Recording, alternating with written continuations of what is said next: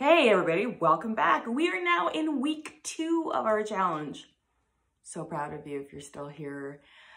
It doesn't have to be an hour long practice. I just want to say that out loud a few times because I remember when I was trying to find consistency on my mat, I really thought I had to practice an hour every day and I just, I, I, I don't have the time to practice an hour every day.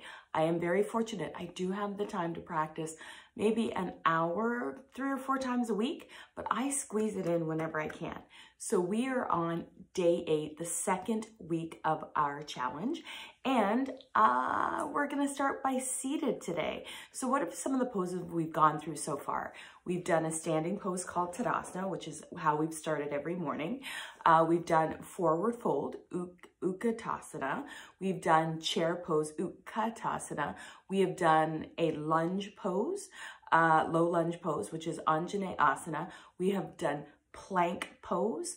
Uh, we haven't done any cobra or back bending as of yet, but we have, or like I should say back bending when we're on our hands and knees, but we've done back bending uh, in standing poses, and we've done a little bit of cat-cow as well if you've opted out of plank pose. So remember, some of your uh, ways to opt out of poses that might be really challenging is if down dog's not working for you, tabletop position's really great. I'll also show you dolphin position today.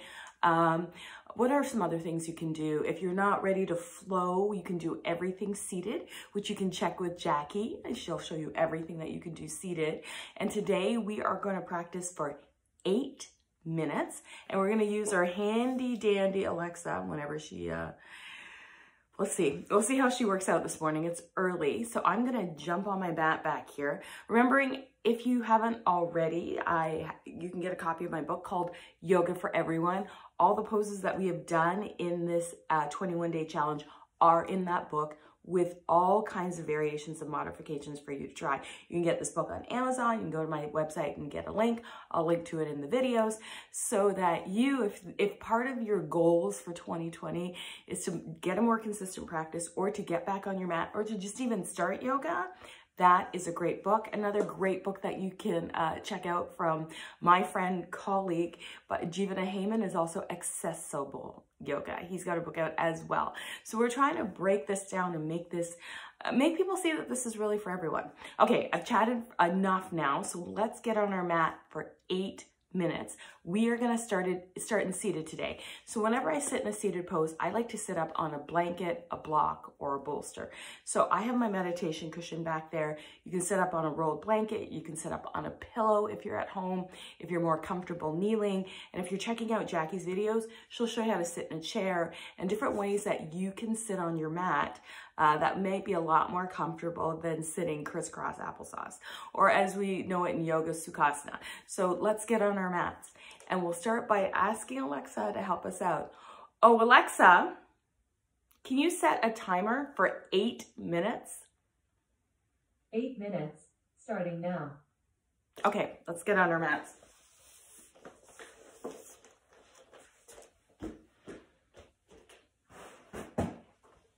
All right, so I'm in a comfortable seat on my mat. This is more closer to what we call siddhasana, where my uh, shin bones or my heels are stacked.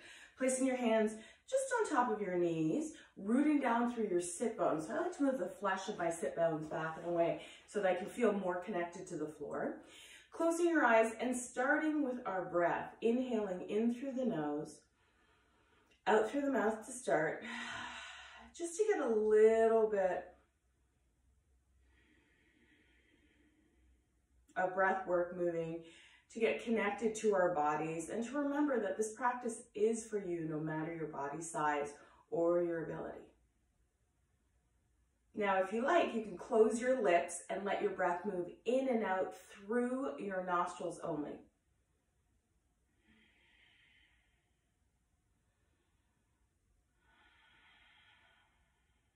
All right, let's inhale, sweep the arms all the way up to the sky. Exhale, bring the hands through heart center and back through the center. Inhale, sweep up. Exhale. Inhale. And now release your left hand down to the mat. Reach your right arm up and over, turning your chest slightly up to the sky. Inhale, reach up, arms out nice and wide. Exhale, right hand down to the mat, left arm up to the sky. Turn your chest slightly up. Inhale, both arms all the way up. Exhale, hands through heart center. And now let's twist to the right, looking over the right shoulder. Inhale back through center, and let's twist to the left, looking over the left shoulder. Back through center. Let's place our left hand down on the earth, right arm up and over, and then swim the right arm straight out in front, planted on the floor. Inhale, reach up. Swim that left arm out in front. So what I'm doing is when I reach up, I'm tucking my chin to my chest and I'm curling my upper back out and I'm reaching forward with my fingers. Do two more or any variation of this that feels good in your body. Last one. And now lace the fingertips behind the low back, squeeze between the shoulder blades, open the throat. Beautiful. And now release, and we're gonna do something called eagle arms. And this can be challenging if you have a lot of girls in the front. So first way that we can do a variation of eagle arms is to stack our forearms on top of each other like I Dream of Jeannie, okay? We can give ourselves a hug, however that looks for you. Or if you feel like you can do eagle arms, is you bring the elbows together. So I'm gonna bring my uh, right elbow pit open and then bring my left elbow in and bring my forearms together. Some of you may be able to bring your palms together in this pose. You can go ahead and give that a try. And then inhale, come out. Exhale, we'll do the second side. I'm gonna add a little flow with this. Inhale, reach out. And now take your right hand to your left knee, left fingertips behind you, look over your left shoulder. And now sweep right arm to right uh, right hand to right knee, and see how my arms are crossed in front. Tuck your chin to your chest, round your upper back, and then slide into either I Dream of Jeannie, into a hug, or into eagle arms. And then inhale nice and wide. Left hand, right knee, right fingertips behind you. Right arm up and over to your left knee. Slide into I Dream of Jeannie or a hug or eagle pose. Arms nice and wide. Right hand, left knee, left fingertips behind you. We're gonna do this a couple more times. So I want you to go ahead and do this at your own pace. Left hand, right knee. Eagle, I dream of Jeannie or a hug. Inhale, nice and wide. Left hand, right knee. Right hand, left knee. Curl the chin to the chest. Fold the arms together. I dream of Jeannie or hug. Now inhale, come out nice and wide. Exhale and release. Let's come onto our bellies and we're gonna do a little prep work before we move into our flow. Come to line right on your belly. Bring your hands alongside your chest. Squeeze your legs together and press your tops of your feet down into the earth. Squeeze your thighs together. Inhale, curl your shoulders back and lift up. Cobra pose, okay? Now you're lifting from the center of your back. So press down through your pubic bone, squeeze the legs together and squeeze the shoulder blades together. Okay, that's an option, cobra pose. Another option for cobra pose is to lift a little higher, elbows bent and hugging in, and you're pulling forward and up. Okay, so pull the heels of the hands back to the heels of the feet and lift up. Now we're gonna come up into cat, uh, to tabletop position and then take a few cat-cows here. So that's a little tutorial on cobra pose. Good, so we'll take a few more and then we're gonna take our hands out nice and wide, pinky finger right to the edge of the mat, fingertips spread out, super wide, wide like rays of the sun. Push down through the pads of the finger, the knuckles of the hands, lift the hips up and back and pedal your feet out into downward facing dog. Press through the upper body, root through the heels push the mat away from you. And then take your feet out nice and wide and walk your hands back towards your feet. Soften your knees. Inhale, sweep your arms high to the sky. Exhale, hands through heart center and walk to the top of your mat. So we're gonna move through a sun salute. Feet about two fists width apart or the width of a block. You can have the blocks at the top of your mat if you like. Inhale, sweep your arms high to the sky. Right hand reaches over or left hand reaches over to the right by grabbing the left wrist with the right hand. Come back to the other side. Inhale, reach up. Exhale, sweep the arms behind you. Lace the fingertips together. So this is our standing back bend that we've been doing. Opening your chest. And now bending your knees, sweeping your arms forward. Chair pose. In chair pose, folding all the way forward, hands come to your block, forward fold. Inhale, half lift. Exhale, fold. Step back with your right leg, giant step, lower your right knee down. Pad your knee here if you like. You can use your, fold your mat, you can slide a cushion underneath. You can do all kinds of things that help you pad your back leg if you need to, okay? Once you're here, really sink into that front hip. Inhale, sweep your arms high to the sky. And now exhale, plant both hands either on blocks, and I'll show you what that looks like, or plant them on the earth and step back to down dog. From here, we're gonna shift the shoulders over the wrists, lower the knees down, and lower, press the tops of the feet down, bend the elbows, and lower all the way down. All right, so if this is too hard, this is where you can come back to your table position. From here, we'll go back to our first tutorial. Hug the legs together, stretch the toes to the back of the mat, curl the chest forward. We're gonna come into cobra pose.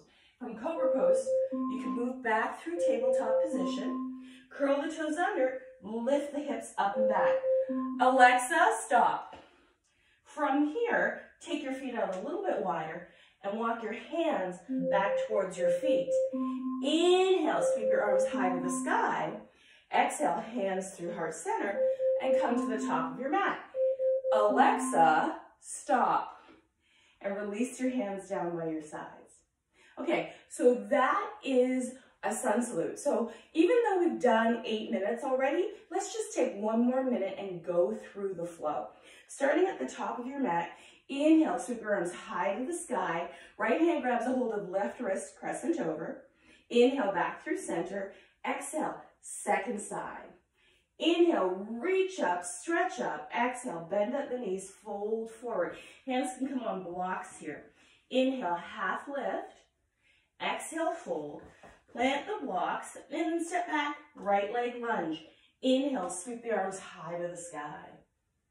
Exhale, plant the hands, step back, downward facing dog. Inhale, forward to plank.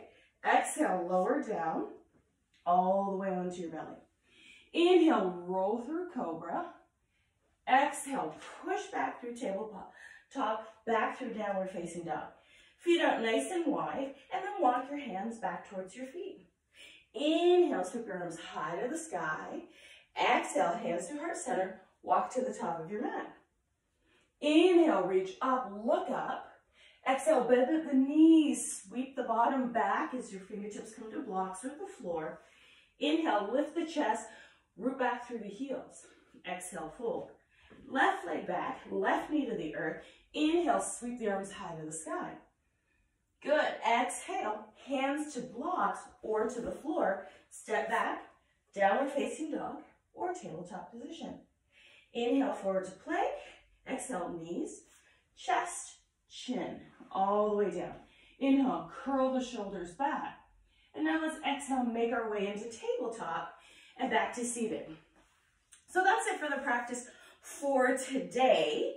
We've exceeded eight minutes by maybe a minute or so, but you can see how this builds your consistency of your practice, right? That you start off with eight minutes of an intention and all of a sudden it's 10 minutes before you know it.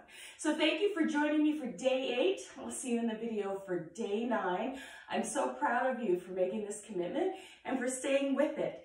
Don't forget, we'll be drawing at the end of this challenge for two of my books, Yoga for Everyone, and two wonderful outfits from Gaiam.